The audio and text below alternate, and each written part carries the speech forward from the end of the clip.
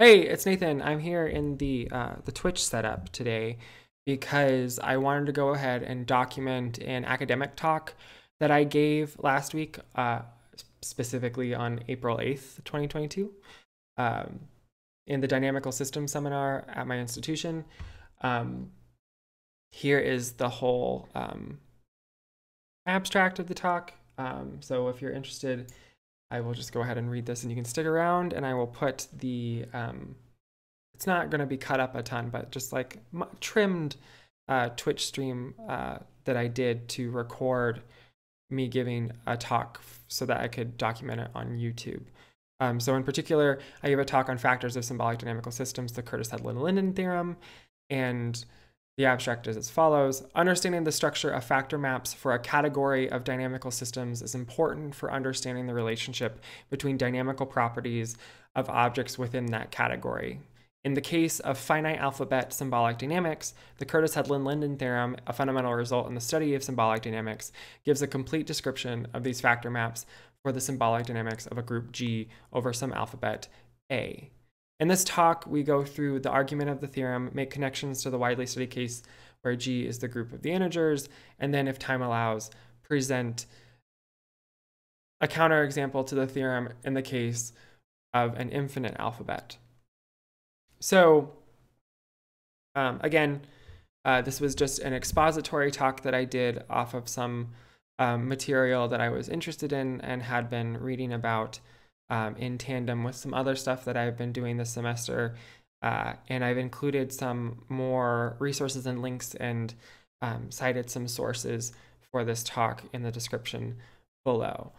Otherwise, without further ado, uh, I'm going to go ahead and cut to the beginning where I ended up writing um, all of this stuff on screen and talking through exactly uh, what that abstract was getting at. So there's that. Thanks for thanks for stopping by, even if you don't watch the whole thing. And I will see you in a, in five seconds. All right. So hi everyone. I am Nathan Dalaklis. I'm going to talk to you about uh, factors of symbolic dynamical systems, and in particular the Curtis-Hedlund-Lyndon theorem. Uh, the, this theorem is a fundamental result in symbolic dynamics that describes factor maps and a large a, a large uh, set of scenarios where you're working with different symbolic systems and you're mapping from one symbolic system of a certain type to another. Uh, and in order to talk about the objects that make these factor maps work the way they do, um, I need to go ahead and define things in general because I'm going to talk about this as um, working over a general group instead of what most are used to or have are more familiar with when working with symbolic dynamics is just the group of the integers. So um, to start off, I'm going to start with a definition, um, which is just what does it mean to shift? Right, so um, the shift action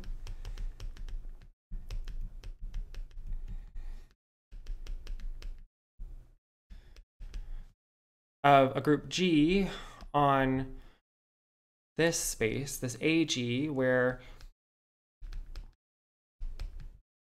A to the G or the space of symbolic points is the set of functions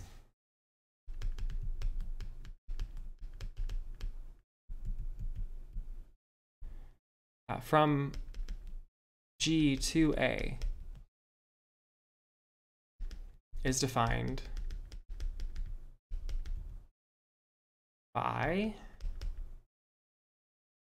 the action of an element G on X in position H, or rather the thing that we label the, um, the image of X under the action by the element G uh, at H is going to be equal to, by definition, the same thing that we labeled X with, or that we labeled um, G minus, or sorry, the same thing that we lab labeled G inverse H um, with in X. And this is for every G and H within the group, and for every X within the symbolic space A to the G.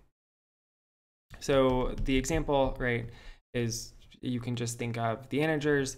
So if the group is just the integers, so your positive and negative natural numbers and zero, um, and your alphabet is a binary alphabet, so 0 and 1, and you take x to be this point, and I'm going to write it a little weird, but it's just going to be 0, 1 infinitely repeating to the left, and then 0, 1 infinitely repeating to the right, then if g is equal to 1, then, uh, uh, then well, x is going to look like so. So it'll be 0, 1 forever doing the same thing over and over again. And you'll get to one thing and you'll reach the center of the point and then you'll continue on in the other direction forever. And it'll be 0, 1 over and over again. Uh, the decimal point marks the center of the symbolic point, so this is just the place where we've labeled the element uh, h is equal to 0 with something from our binary alphabet. And then the action of g on uh, the symbolic space uh, in terms of just the element g, which in this case is the identity of the group 1 acting on the point x, is going to just move this point over to the left 1. So have all of the stuff same as before but instead we will end at zero and then one will be the new the new thing next to the center uh, and we will go forward from there. So then we get just one zero repeating over and over and over again. So here g inverse um, h. G inverse h is equal to negative 1 plus 0 which is negative 1 right? So we've got uh, the thing that we labeled zero with was the thing that we labeled um, minus one with before. So this is just showing an example of the definition.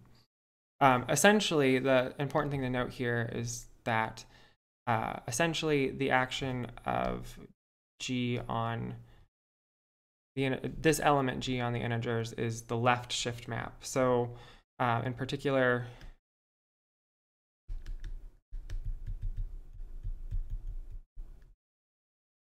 G is essentially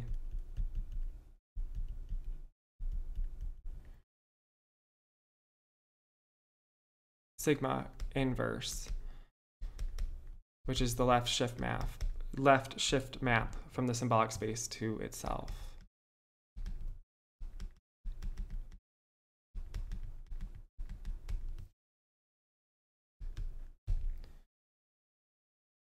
Um, so I have defined how we're going to shift about using the group G so we can talk about things in more generality than just with the integers where shift invariance is just with invariance with respect to sigma. Um, so we can talk about invariance with any respect to any element in G. And if you're thinking about the integers, then respect to any element in G is just the powers of the invariance with respect to powers of the shift map anyway. So now I've now that we have the shift action, we have uh, how we shift through our symbolic points on a general group G. And the next thing I'm going to define is the object that gives us those con those continuous G G equivariant or shift invariant um, maps between a symbolic space and itself. So for finite for finite alphabet symbolic dynamics. So this is another definition. So a cellular automata or automaton, cellular automaton over a group G and an alphabet.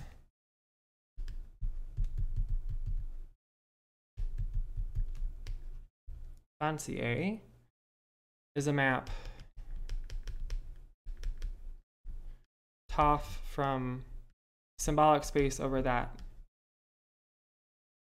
Symbolic space um, sorry it, it's a it's a map um, from the symbolic space to itself uh, such that there exists an S, which is a subset of the group, not a it doesn't need, it does not need to be a subgroup, uh, such that that S is finite, and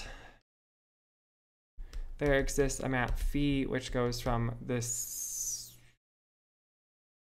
the labelings of that set S by elements of our alphabet A, just make it fancy, um, to the alphabet such that we can determine the image of the automaton at a group element uh, by just what happens to the original point x when it's acted on by the inverse of g, um, and then when that's just restricted to the finite set. So I'll give an example here in a second. So um, but first, just terminology wise, we say that um, this S here, this S here is um, called the memory set or a memory set for TOF. So, okay. Example, um, let me do a different color for this. So example, the most famous example probably of a cellular automaton is Conway's Game of Life.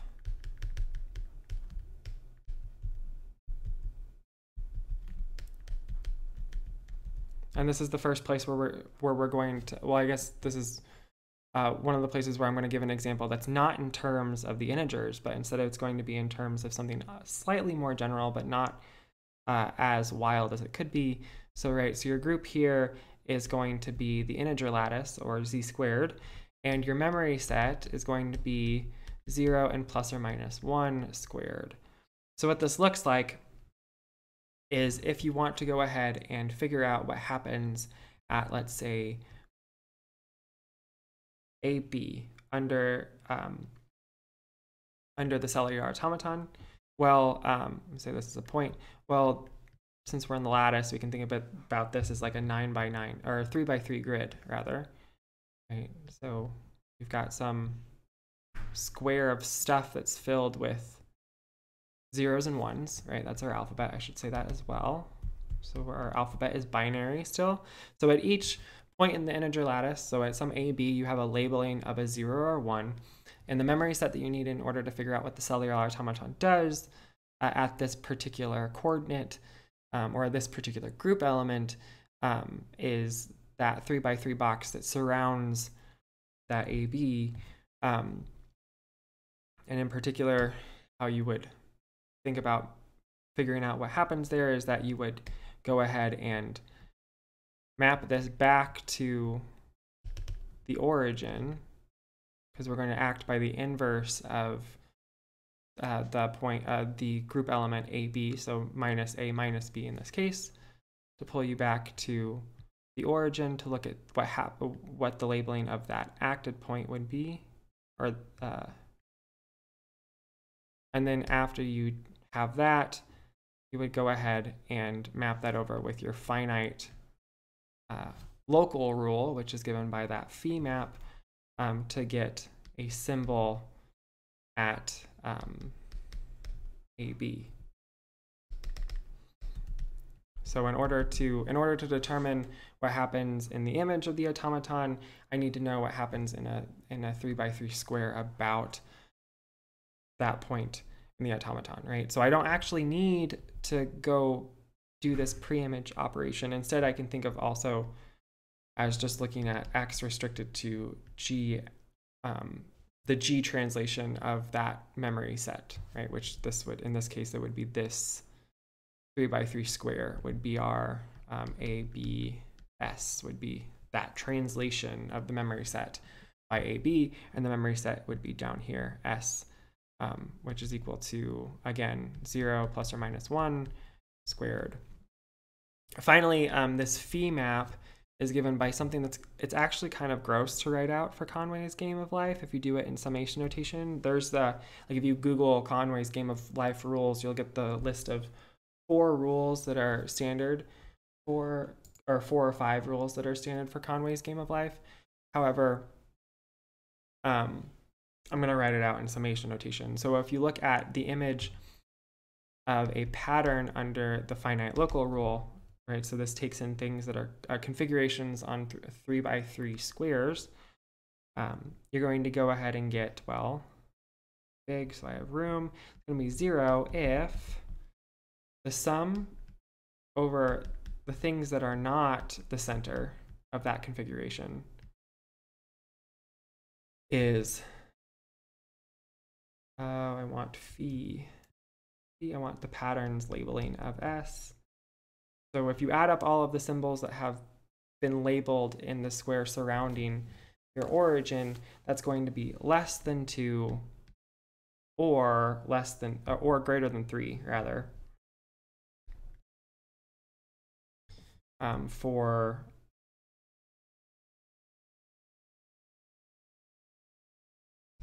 your pattern being labeled with a 1 in the center. And then it'll be a 1, and then this rule is a little bit more complicated. So if the sum of the labelings about your place of interest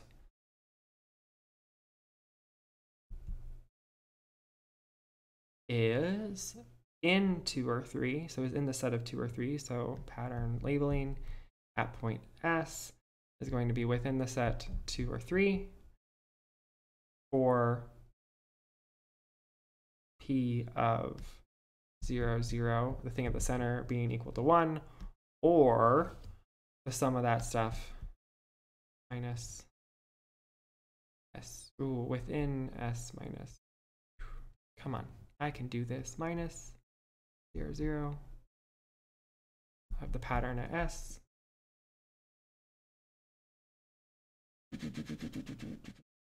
is going to be equal to equal 3. Yeah, yeah. So if the sum of the labelings around your place of interest is 3 um, for the pattern at uh, evaluated at 0, 0 is equal to 0. So if you are you are dead and the sum of the surrounding things is 3, then you become alive if you are alive and the sum of the surrounding things is two or three, then you stay alive. And then if you uh, are alive and the sum is either under two or you're underpopulated, or if it's over three or if you're overpopulated, then you die. Right? So you go from one to zero. Um, so these are the two, these are this is the object of interest for this talk. This is what's going to end up giving us um, the answer to the question of what are um, the factor maps between uh, symbolic dynamical spaces in the finite alphabet case, as described by the Curtis-Hedlund-Lyndon theorem. Uh, but I need to do a little bit of work in order to make that clear. So this is the first uh, proposition that I'll prove during this talk. So um, there'll be two propositions, and then I think I just go go for the jugular. Yeah. I'll do, do two small propositions and then we'll talk about the Curtis-Hedlund-Lyndon theorem. So first off is that, we'll call this prop A, um, let G be a group and let A be a set. Then every cellular automaton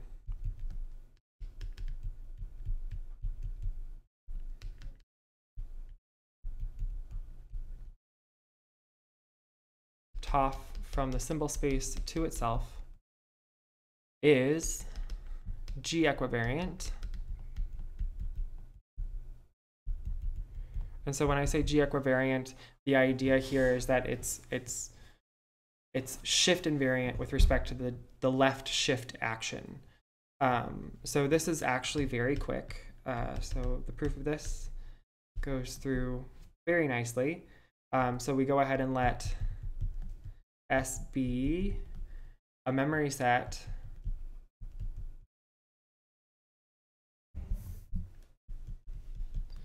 for the automaton tau or TOF. Um, and because we're a cellular automaton, we have a finite local rule. So phi from the restriction to that memory set to A be a finite local rule.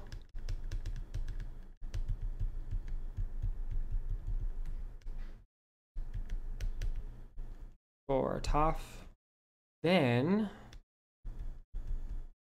for every G and H within G and X within the symbol space, we have that.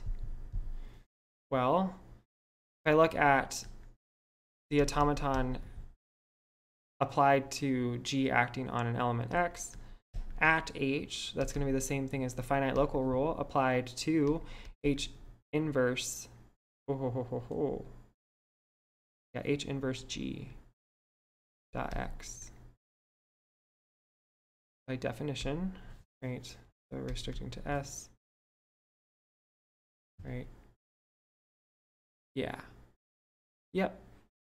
Right here. Right here. That's what we're using right here. Just the definition of cellular automaton. And then we can rewrite that as the inverse of G inverse H acting on X restricted to S. But then that is just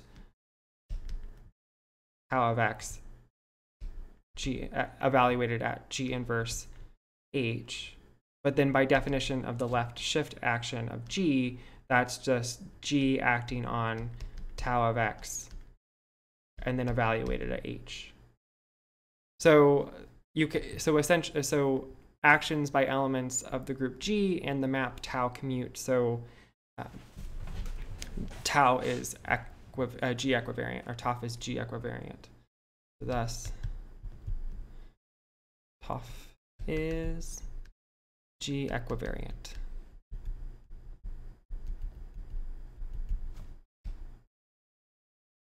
Next, uh, prop is about continuity. So prop B takes a little bit more time, but is not as bad. Uh, is not too bad either. So let G be a group, um, and set.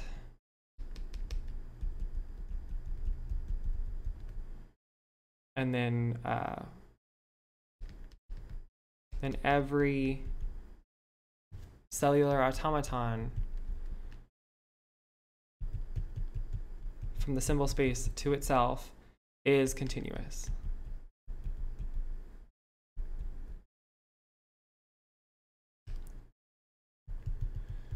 So I have to be careful here. So I have to just just comment on the fact that when I'm talking about the symbols, when I'm talking about the symbol space, I'm talking about the um, the topology that I'm talking about is the pro-discrete topology. So your basic open sets are your um, pre-images of your projection maps uh, intersected with each other over a finite set.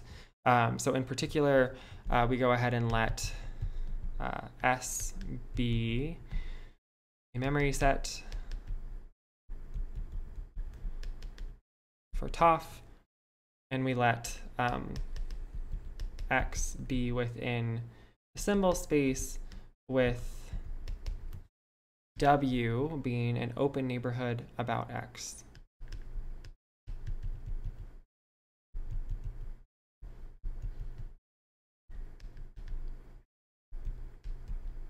an open neighborhood. About X in the pro-discrete topology.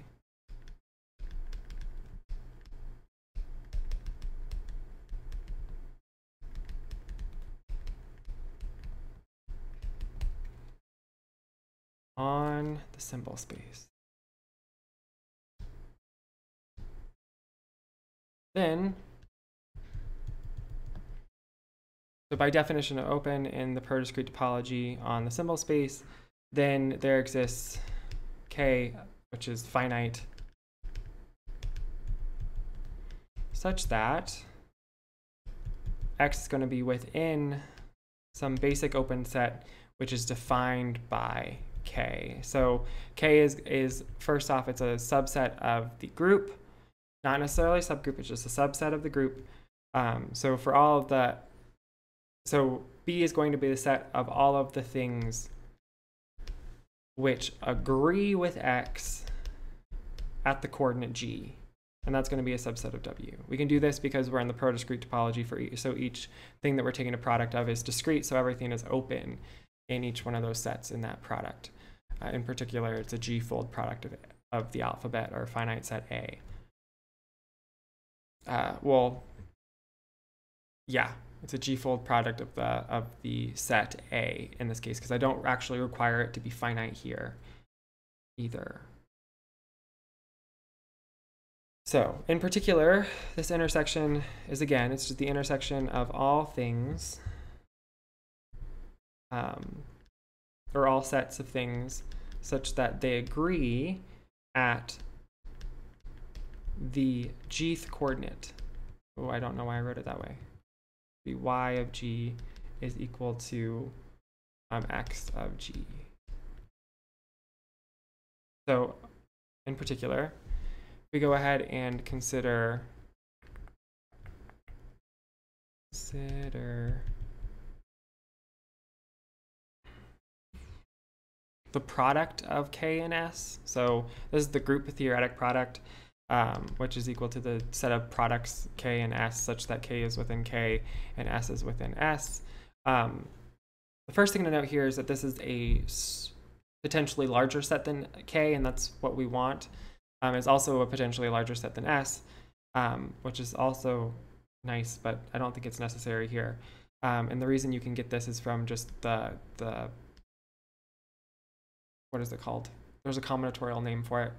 The thing from group theory where you look at the size of the, uh, the group theoretic product of sets, and that's just going to be equal to uh, the size of each individual set uh, divided by the size of their intersection. Um, and then their intersection is so the intersection is um, larger in is um, at least I'm sorry. The intersection is at most as big as the minimum of the two sets. So this is um, greater than or equal to uh, k times s over the minimum of the size of k or the size of s because I'm making because I'm making the bottom thing smaller, so I'm going to get a bigger thing out top. So and then that means that this is uh, greater than um, k and it's greater than s or greater than or equal to, right? Um, because it could be could be greater than or equal to either one, it, but it's strictly one of them. Oh well, nah, I don't want to say strictly. Anyway, so the the reason for this is because I'm going to use this to make a smaller set. And in order to make a smaller intersection, I need to make an intersection of more things. So um, in particular, if we look at what happens uh, with a point, so if y within symbol space agrees with x on group theoretic product ks, then for every k within k, the image of the automaton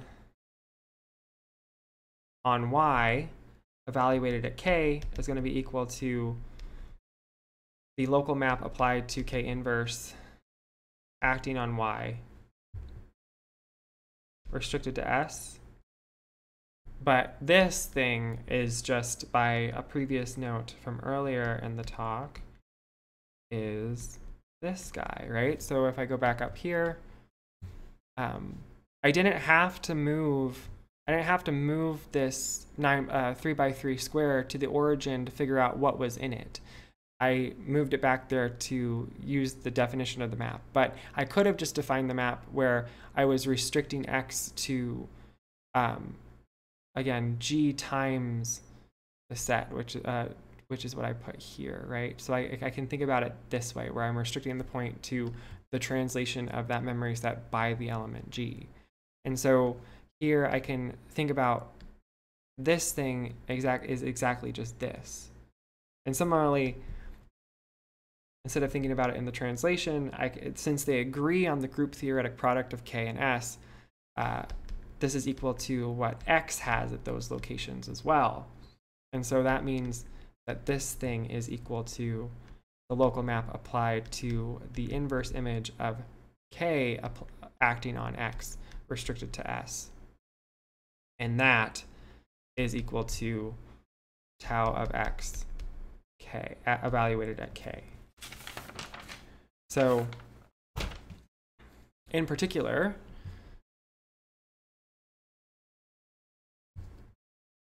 so uh, tau of y agrees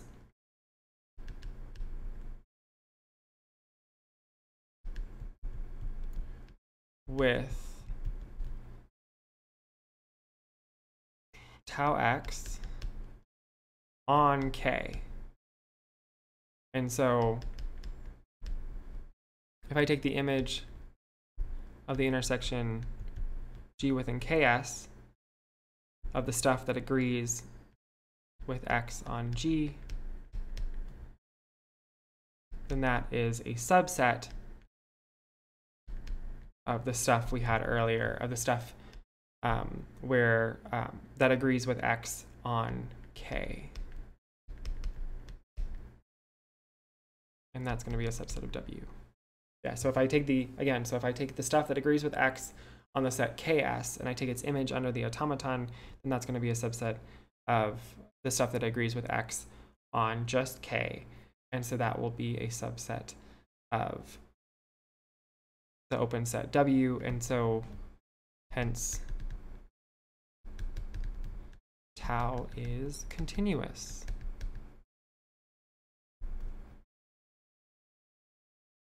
So there's another proof done.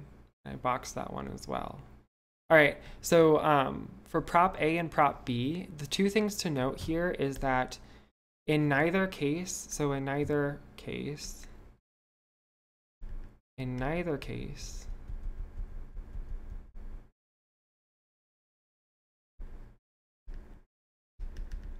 did we require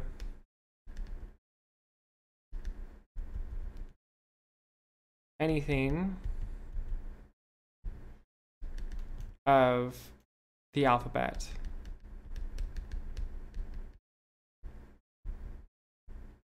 A, right? So prop A and prop B hold when your alphabet is larger than finite. So you can then ask, well, are these actually the right things to think about? Uh, these cellular automaton, are they the right things to think about when going backwards? So if you have a continuous and G equivariant map, is it a cellular automaton uh, for finite state uh, for finite state or finite alphabet symbolic dynamics? The answer is yes, and so that brings us to the main theorem for this expository talk uh, is the Curtis Hedlund Lyndon theorem. So theorem um, Curtis Hedlund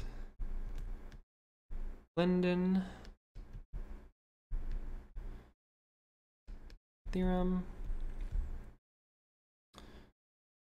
So uh, let G, uh, well, first off, um, this theorem was uh, published by Hedlund in a paper in 1969. Uh, so 1969 by Hedlund, and he credited uh, Curtis and Lyndon as co-discoverers of the theorem. When he originally proved it, he only proved it for the integers, um, which will be uh, is a much more restricted case than the way I will present it in this talk. Um, and later on, Richardson, um, Richardson later showed it um, for the integer lattice uh, ZD uh, in 1972. Uh, and since then, it has been uh, further generalized into the argument that I am going to give here. So um, let G be a group. And let A be a finite set.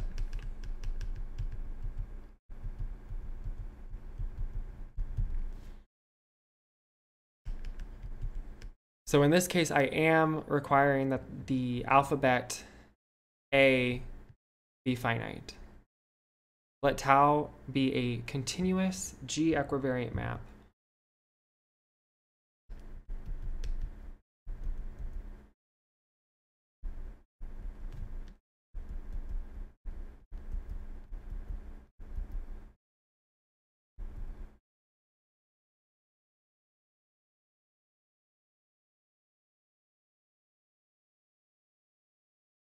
And equipped.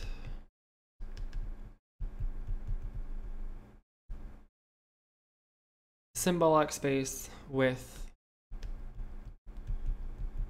the pro-discrete topology.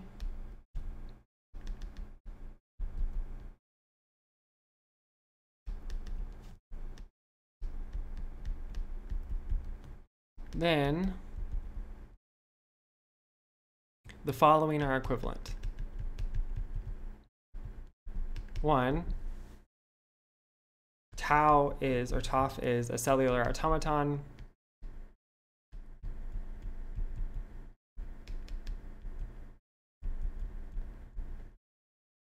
And two is that TOF is, oh, I didn't want to say that tau is a, that's, that's a mistake on my part. So uh, I don't need, I just need tau being a map. Because I'm going to say it's continuous and G equivariant in the following equivalent, our equivalent statement. So tau is a map uh, from the symbol space to itself.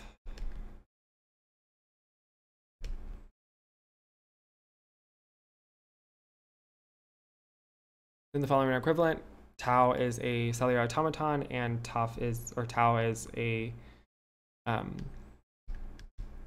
continuous G equivariant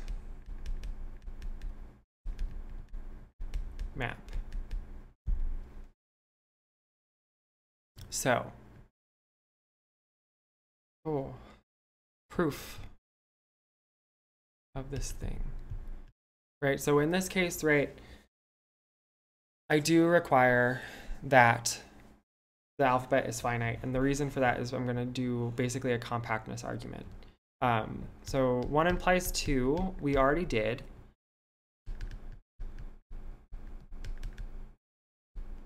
From prop A and B. And then 2 implies 1 is where the work comes in. So for 2 implies 1, uh, suppose um,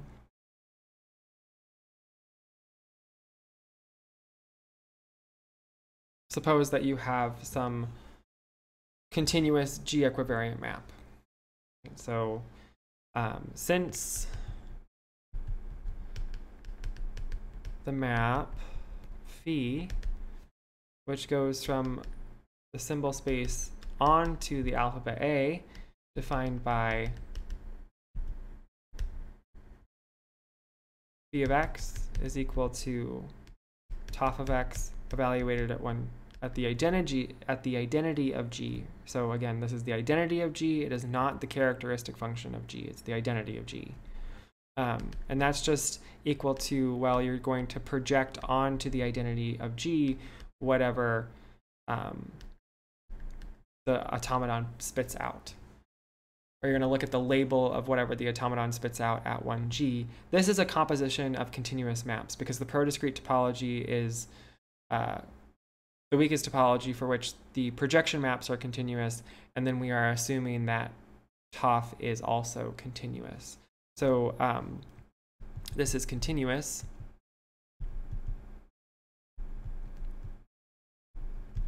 We can go ahead and apply continuity uh, in the following way. So um, by continuity,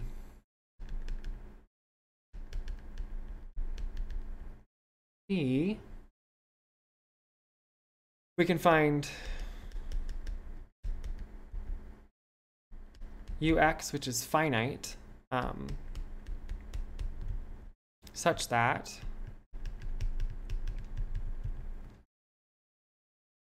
if y agrees with x on the labelings of the elements of ux, right? So ux, again, is a subset of g. It's a finite subset of g. Um, then phi of y is equal to phi of x. Again, this is just continuity um, where the other the open set of interest is um, v is equal to the set of phi of x subset of the alphabet, uh, which we can do because um, the, alpha, uh, the alphabet's topology is discrete, so everything is open. So in particular,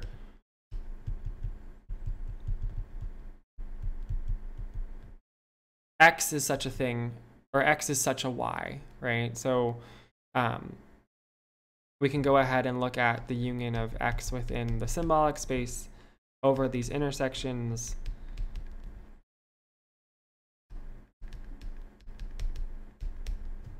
And because each x that you use falls into one of these intersections, uh, in particular, it falls into the one intersection that it's associated with, then this union is just the entirety of the space. And since we are um, in a compact space, right? Um,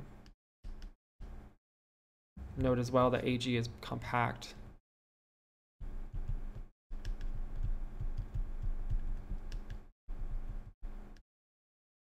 Or the symbolic space is compact. This is where we're using that the alphabet is finite.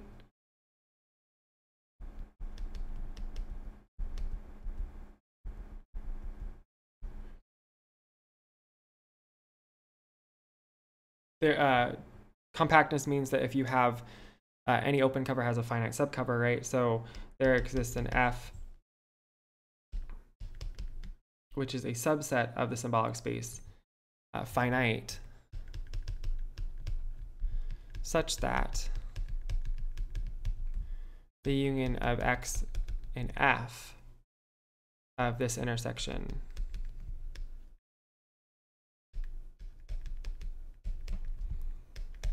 is still the whole space.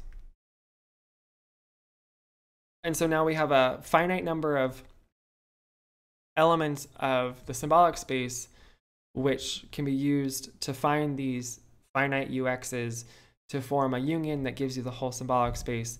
We have a candidate for our memory set. We take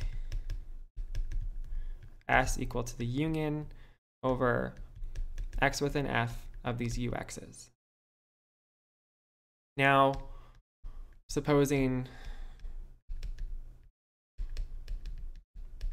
that y and z are within the symbolic space, I want to show that this is actually a memory set. So I'm going to suppose that they agree on the memory set S.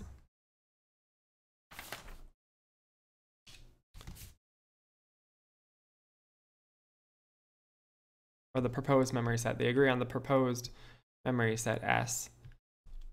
Make that not a delta. There we go. If we let x naught be within f, be such that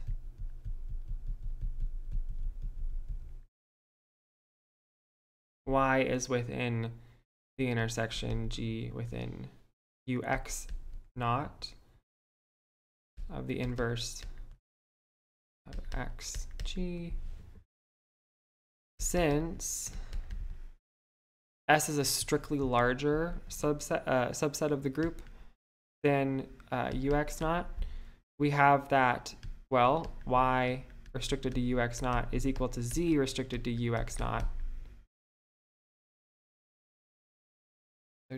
They decided to start drilling something underneath me. Anyway, um, So hence,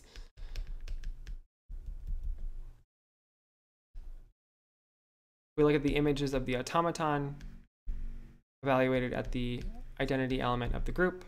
That's going to be the same thing as well. It's going to be the same thing as what happens to this x naught under the automaton at the identity of the group, which is going to be equal to what happens to z under the automaton at the identity of the group. And thus,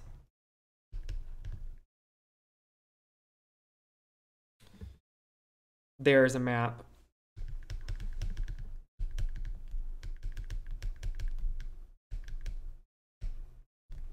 Me such that it goes from the restriction um, down to the memory set to the alphabet such that we know what the cellular automaton does to appoint labeling of the identity. It takes it to me of whatever that point is restricted to S for every X within G. And so here, this is where we use equivariance of the map TOF. So by G equivariance,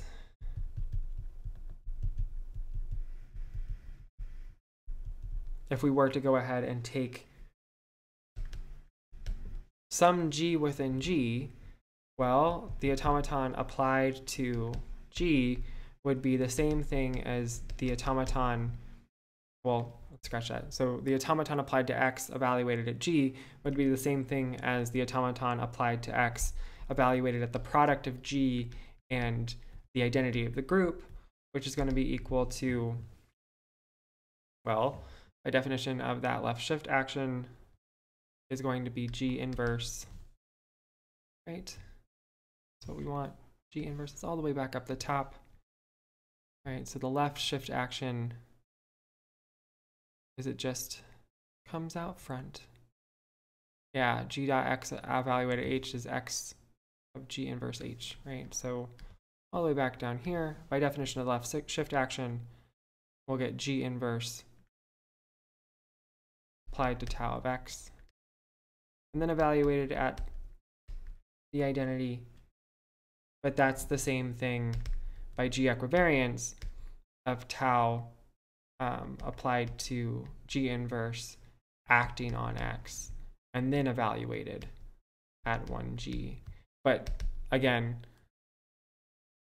we know what tau does at the identity map uh, or at the ident uh, at the identity of the group G. We know what tau does at the identity of the group G, and that's exactly well uh, mu of G inverse dot x restricted to s. And so by definition, um, tau is a cellular automaton with memory set S, which was that union of all of those UXs from before. So in particular, me is a local map for the map tau, which completes the proof of this theorem. So main thing to take away from the Curtis Hedlund Lyndon theorem is that the forward direction from one to two, that a cellular automaton is continuous and G equivariant, that doesn't break when your alphabet gets big. Um, that's true for every um, possible alphabet that you could choose. So the issues come up when you go backwards. And the major issue is that we had a compactness argument here.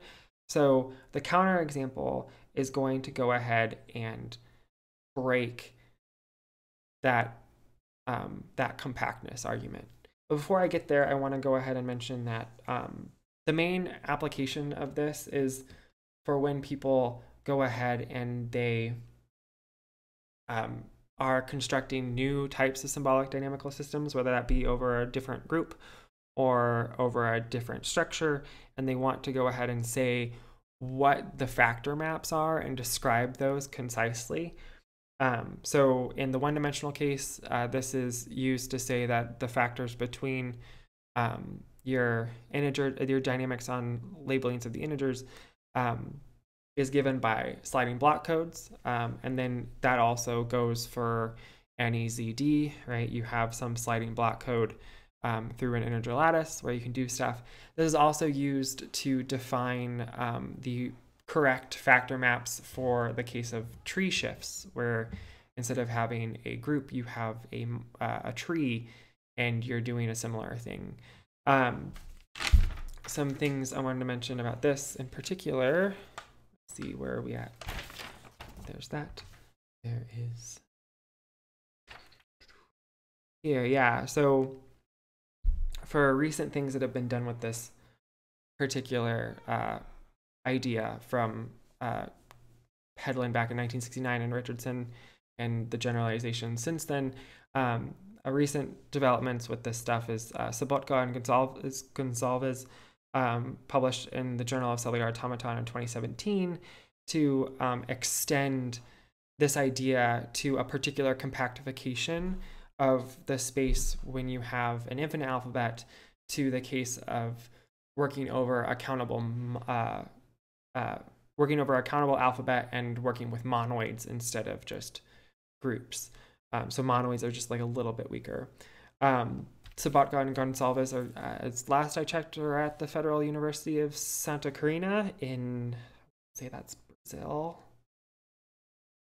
Yes, no. Anyway, it's fine. Um, the particular compactification that's used in their argument is the Ott, Tomforde, and Willis compactification of um, the one-sided shift, which is a to the naturals. Um, and so they work with that in order to generalize to uh, the countable alphabet case over monoids. Um, in terms of more symbolic dynamic stuff with groups, um, one of the, the big big names for this stuff is um, Kitchens. Um, he does a lot of stuff with symbolic dynamics in terms of doing work over a general group instead of just um, over the integers, which is, if you look at journals, a lot of times there's a lot of like stuff published about symbolic dynamics in computer science journals. Um, so that's a thing. Anyway, um, so that bring that sort of fleshes out like this is this is this is still something that people think about and use to talk about spaces and new spaces uh, where we're, we're more interested in countable alphabets, which is a more recent thing. Um, and it all has also been generalized and extended to different compactifications of the space. Um, there's also, uh, I, I, think it's the same people who did the compactification. Someone, someone in that area, though, that list of people that I mentioned, um, which I'll also put in the description once I may, uh, take this stream and put it onto YouTube as well. Um, they uh,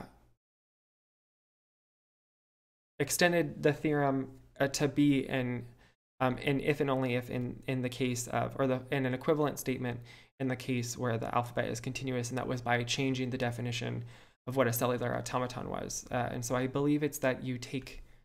I'll have to double check this, but it, I believe it's you take you you make the memory set not fixed essentially. You make it variable based on the input of the automaton. Um, however with that being said the last thing i want to do is i want to go ahead and go through just briefly i'm not going to go through the whole example i'm just going to present it and leave it as an exercise um, to think about uh, the case where you have a countable alphabet and you have something where under the definition given in this talk of a cellular automaton you have a continuous G equivariant map, which is not a cellular automaton. So here we go. Example. Do let's do example.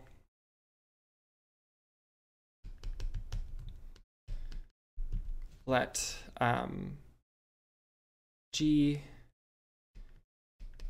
be any infinite group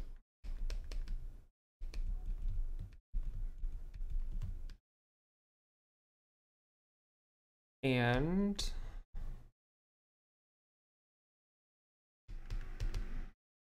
what are they doing down there? Anyway, so and the alphabet A is going to just be equal to the group. Um, then define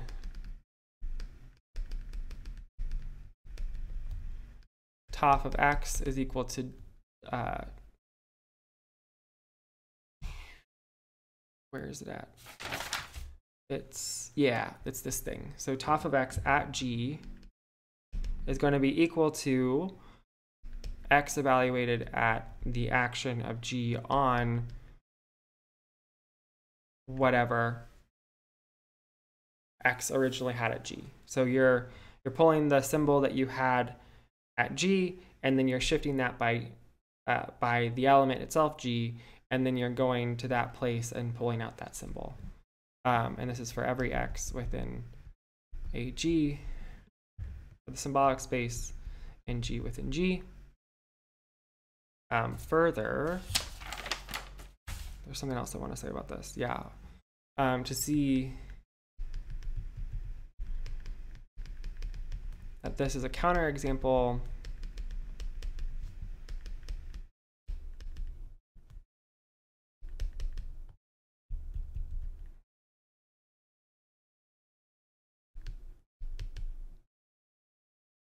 we go ahead and take um,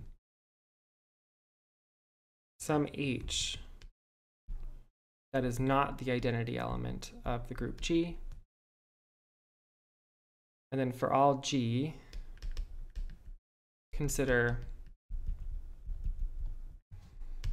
xg and yg within the symbol space such that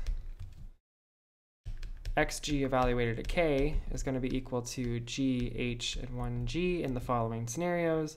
g if k is the identity, h if k is equal to g, and 1g, or the uh, identity element of g otherwise. And then yg of k is just going to be equal to g or 1g. And it's g when k is equal to 1g, and it is 1g otherwise. So if you look at, um, so to see, um, so to see that this is a counterexample of this thing, you consider these two points and you compute TOF of xg at 1g. The identity is going to be um, xg of xg of 1g which is equal to xg of g, which is equal to h, uh, while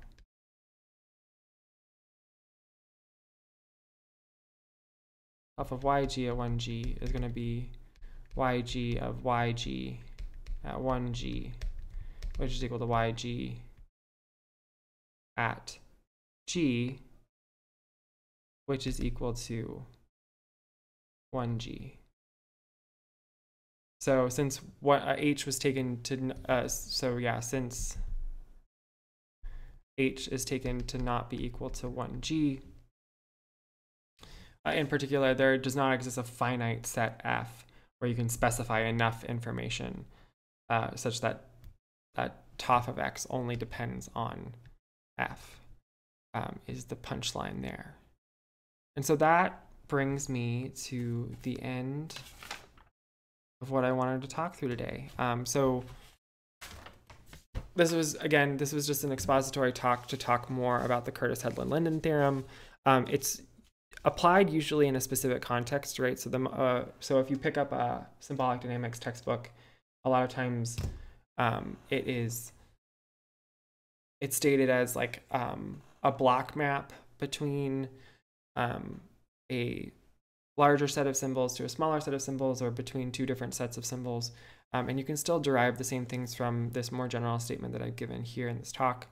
Um, but otherwise, this is where I'm going to go ahead and cut the video that I'll put on YouTube because that brings me to about an hour. And yeah, that was that was the talk. Um,